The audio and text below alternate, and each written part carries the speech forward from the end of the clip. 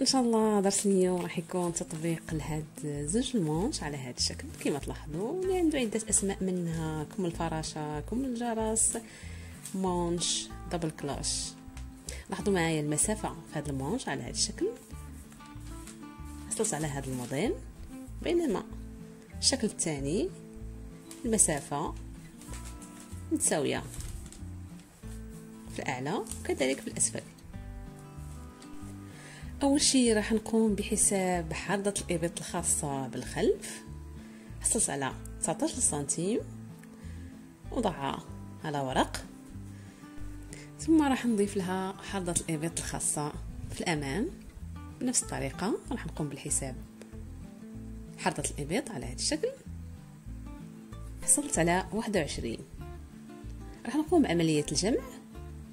نحصل على 40 سنتيم. راح نقوم تقسيم أربعين على أربعة نحصل على عشر سنتيمات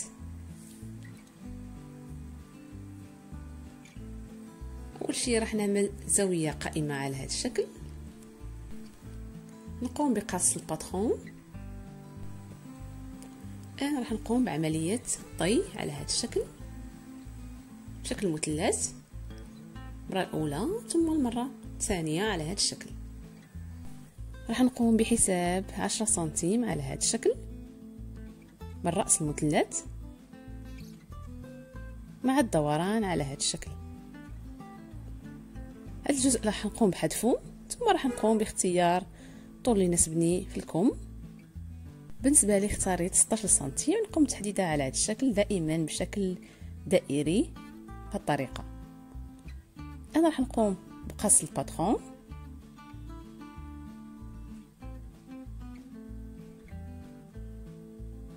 بهذه الطريقة نحصل على المونش. الجزء اللي قمت بحذفه. راح ناخذ باترون آخر. نقوم بالطي على اثنين ثم على أربعة على هذا الشكل.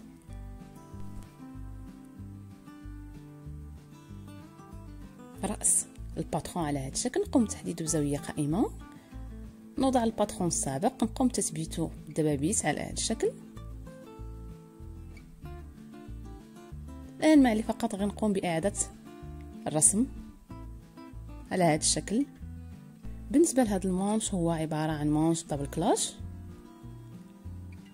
أنا راح نقوم بقص الباترون اللي حصلت عليه على هذا الشكل.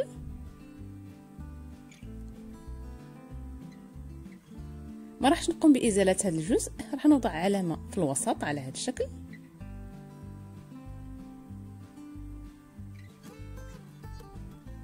هكذا يصير شكله؟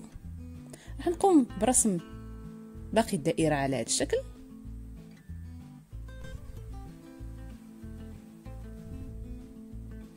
وهكذا يصير شكلها النهائي.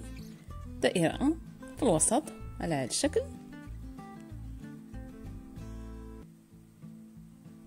هذا بالنسبة للموديل الأول. اختاريت باترون في اللون الوردي حتى يكون هناك تمييز الموديلات بزوج. راح نقوم دائما بالطي على أربعة على هذا الشكل. دائما نقوم بتحديد الزاوية القائمة ثم نوضع الباترون اللي سبق لي قمت برسمه على هذا الشكل. نقوم بتثبيت. ونقوم برسم هذا ربع الدائرة على هذا الشكل وكذلك أسفل الباترون. نقوم بقص الشكل اللي حصلت عليه على هذا الشكل.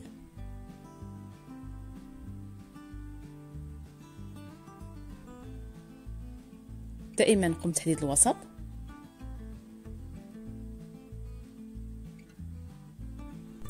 نقوم بتحديد المنتصف على هذا الشكل بالنسبة للباترون الأول والثاني. لاحظوا أن المسافة متساوية بينما في الباترون الوردي. راح نقوم بتغيير المركز. راح نقوم بتحديد هاد الخطوط. ثم نقوم بتعيين المركز. المركز الجديد بالنسبة لي راح يكون هو هذا المكان. راح نقوم برسم زاوية قائمة على هذا الشكل.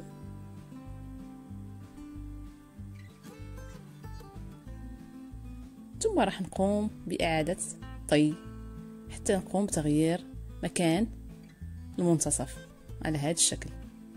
بهذه الطريقة كنحصل على منتصف جديد. الآن ما علي غنقوم بوضع الباترون السابق ونقوم برسم شكل الدائره اللي عندي في الوسط على هذا الشكل. نقوم برسم باقي أجزاء الدائرة على هذا الشكل.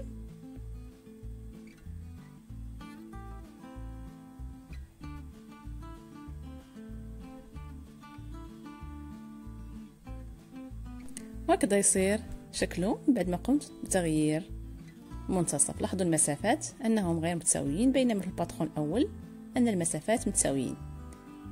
الآن راح نقوم بقص دائره في الوسط على هذا الشكل نقوم بحذفها. هذا المونش الأول. لاحظوا نفس المسافة بالنسبة للدائرة الثانية. الآن راح نقوم بحذف الدائرة الثانية. هذا المونش الوردي على هذا الشكل. أول شيء راح نقوم بتعيين المنتصف الخاص في الكتف وكذلك المنتصف الخاص أسفل حردة الابط راح نقوم بتثبيت المنتصف الأسفل على هذا الشكل. ثم راح نقوم بعمل لي بلي بهذه الطريقة نفس الشيء في المكان المقابل. أي الخلف. نقوم بعمل لي بلي على هذا الشكل. نقوم تثبيت المنتصف. ثم نقوم تقسيم لي بلي. الآن كنقوم بتنفيذ هذا الموديل الظهر على الصورة كما تلاحظوا. هذا هو الباترون خاص فيه على هذا الشكل. نقوم نفس الشيء في الخلف. بهذه الطريقة كنقوم حصلت على هذا المونش كما تلاحظوا.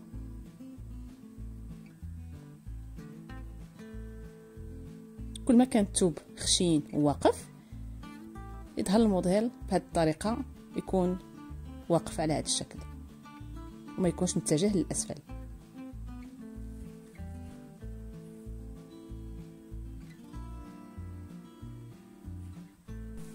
بالنسبة للموديل الثاني راح نقوم بتعيين المنتصف الخاص بالكتف وكذلك المنتصف الخاص بحرة الإبط على هذا الشكل. أي نصف دائرة. نقوم بتثبيت الكتف الآن كنقوم بتطبيق هذا الموديل الظاهر على الصورة كما تلاحظوا. وكذلك حردة الإبط من الأسفل على هذا الشكل. نقوم بتثبيتها ثم نقوم تقسيم أو توزيع لي بلي الخاصين في الأمام وكذلك لي بلي الخاصين في الخلف على هذا الشكل.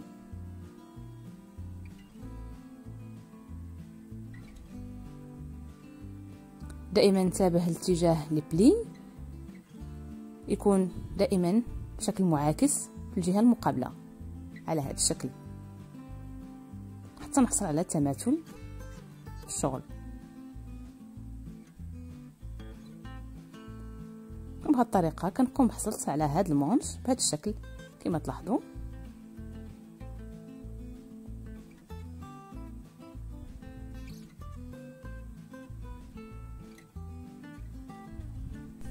لاحظوا المسافات الخاصين في الإعلى والأسفل أنهم الآن صاروا متساويين رغم أن الباترون ما كانش مرسوم بالتساوي وهذا هو الشكل النهائي بالنسبة لهذا المونش على هذا الشكل.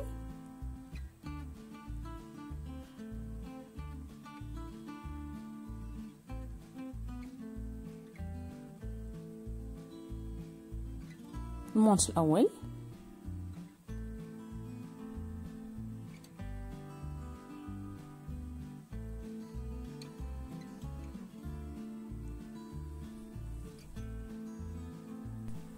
بالنسبة لهذا الموديل اللي ظهر في الصورة كما تلاحظوا فقط راح نقوم بإزالة هاد بلي حتى نحصل على هذا الشكل.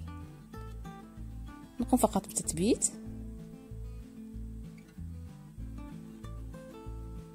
المونش مع حردة الإبط الأمام والخلف. نختار المستوى اللي يناسبني على هذا الشكل. بإمكاني ترك الموديل على هذا الشكل أو عمل لي بلي أو عمل لاستيك. هذا المكان تبقى مسألة اختيارية فقط. بالنسبة لي راح نقوم بوضع لي بلي على هذا الشكل.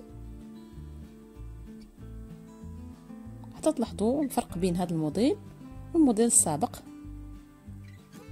أنه نفس العملية فقط أنه ما قمش بتثبيت المونش على الكتف. لاحظوا نفس الشكل. بهذا البلي في هذا المكان.